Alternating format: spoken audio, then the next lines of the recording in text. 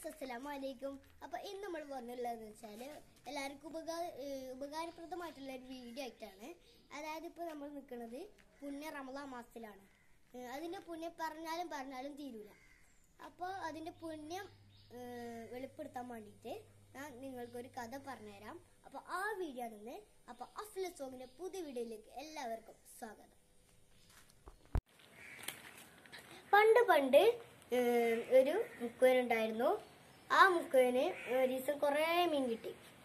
ഏ അപ്പോൾ അത് അതിൽ നിന്ന് കുറച്ചെടുത്ത് കണ്ട് ഭാര്യ കണ്ടു കൊടുത്തു അപ്പോൾ ഭാര്യ അരിണീന്റെ ഇടക്കാണ് ശ്രദ്ധിച്ചത്. അതായത് ഒരു സാധനം ഇങ്ങനെ തിളങ്ങുന്നുണ്ട് അപ്പോൾ നോക്കിയപ്പോൾ അതാ ഒരു വചനം. അപ്പോൾ അത് എടുത്തുകൊണ്ട് മുക്കുവിന്റെ അടുത്ത് കൊണ്ടുപോയിട്ട് പറഞ്ഞു ഇത് നിങ്ങൾ ജ്വല്ലറി കൊണ്ടുപോയി കൊടുക്കുക. അപ്പോൾ നിങ്ങൾ കുറേ സ്വർണ നാണയം കിട്ടും. അതാ പൈസ കിട്ടും എന്നൊക്കെ പറഞ്ഞു. അപ്പോൾ അയാൾ ആ മുക്കുവന് ജ്വല്ലറിക്ക് അതും കൊണ്ട് പോയി. അപ്പോൾ ജ്വല്ലറിക്കാരൻ എന്താ പറഞ്ഞതെന്നറിയോ? ഈ കടിയത്തെ അതായത് ഈ ജ്വല്ലറിയത്തെ എല്ലാ സ്വർണം പാട് തന്നാലും ഈ വചനത്തിന്റെ പകുതി വില പോലും തരാൻ പറ്റൂല. അത്രയും വിലപിടിപ്പുള്ള സാധനമായിരുന്നു. കോടിക്കണക്കിന് വിലപിടിപ്പുള്ള വചനമായിരുന്നു വചനമായിരുന്നു അപ്പോൾ അങ്ങനെ നാട്ടിലെ എല്ലാ ജ്വല്ലറി കൂടിയും ആ മുക്കനെ കൊണ്ടുപോക്കി പക്ഷെ ആരെടുത്തും അതിന്റെ പൈസ ഇല്ല. അപ്പൊ അവസാനം ചെന്നത് രാജാവിന്റെ അടുത്താണ്. അപ്പൊ രാജാവൊക്കെ നോക്കിയോണ്ട് ഇങ്ങനെ പറഞ്ഞു എന്റെ കാവൽക്കാർ നിന്നെ എന്റെ ഖജനാവിലേക്ക് കൊണ്ടുപോകും. അപ്പൊ ആ ഖജനാവിൽ കുറെ വെള്ളിയും സ്വർണമൊക്കെ ഉണ്ടാവും. അപ്പൊ ഞാനൊരു മണിക്കൂർ നിനക്ക് സമയം തരാണ് ആ മണിക്കൂറിനിടക്ക് നിനക്ക് എടുക്കാവുന്ന എന്തും നിനക്ക് എടുക്കാം. ഏഹ് അപ്പോൾ കാവൽക്കാർ മുക്കുവനെ ഖജനാവിന്റെ അകത്തേക്ക് കൊണ്ടുപോയി. അപ്പോൾ അയാൾ നോക്കിയപ്പോൾ കാണുന്നത് കുറേ സ്വർണവും കുറേ വെള്ളിയും പിന്നെ കുറേ വചനങ്ങളും കുറേ ഭക്ഷണ പദാർത്ഥങ്ങളൊക്കെ ഉണ്ടായിരുന്നു. അപ്പോൾ അയാൾ ഇന്ന് രാവിലെ ഒന്നും കഴിച്ച് കഴിക്കാതായിരുന്നു മീൻ പിടിക്കാൻ പോയത് മീൻ പിടിക്കാൻ പോയത്. അപ്പോൾ അയാൾ ഭക്ഷണ പദാർത്ഥങ്ങളൊക്കെ കുറേ തിന്നു.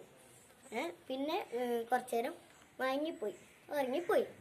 പിന്നെ ഉണ്ട് ഇങ്ങനെ വിളിച്ചെടുത്തിന് ആൾക്കാർ നിങ്ങളെ സമയം കഴിഞ്ഞു പറഞ്ഞാണ്ട്.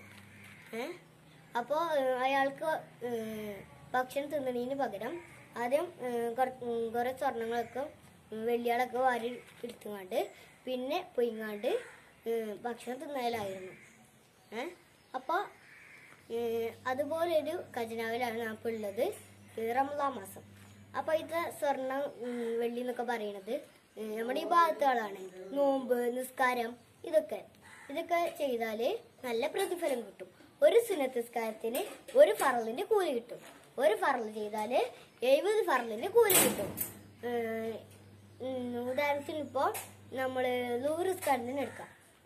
അപ്പോൾ നൂറ് നിസ്കാരത്തിന് നോമ്പിന് മുന്നേ റമദാന് മുന്നേ നമ്മൾ ഒരു നൂറ് നിസ്കരിച്ചാൽ ഒരു നൂറിന്റെ പ്രതിഫലം നമുക്ക് കിട്ടുള്ളൂ. പക്ഷെ റമദാനിൽ ഒരു ലോറി നിസ്കരിച്ചാൽ എഴുപത് ലോറിന്റെ കൂലി കിട്ടും. അതും ജമാഅത്തായിട്ടാണെങ്കിൽ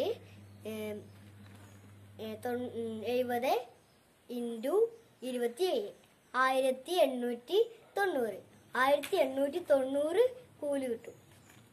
ഒരു ഫർൾ നിസ്കരിച്ചാൽ ആയിരത്തി എണ്ണൂറ് ആയിരത്തി എണ്ണൂറ്റി തൊണ്ണൂറ് കൂലി കിട്ടും. ആയിരത്തി എണ്ണൂറ്റി തൊണ്ണൂറ് നൂറ് നിസ്കരിച്ചതിന്റെ കൂലി കിട്ടും ഏഹ് അപ്പോൾ ഞാൻ പറഞ്ഞതെന്ന് വെച്ചാൽ ഏ, ആരും ഇങ്ങനെ നിസ്കാരം ഒഴിവാക്കരുത്. നിസ്കാരം വിഭാഗത്തൊക്കെ ഒഴിവാക്കി കഴിഞ്ഞാൽ അയാൾ ഇറങ്ങിപ്പോയതിന് തുല്യമാണ് അയാൾക്ക് വെള്ളിയും സ്വർണമൊക്കെ നഷ്ടപ്പെട്ടതുപോലെ നമുക്ക് കുറേ പ്രതിഫലങ്ങൾ നമുക്ക് നഷ്ടപ്പെടും അപ്പൊ ഇതെല്ലാവരും ശ്രദ്ധിക്കുക.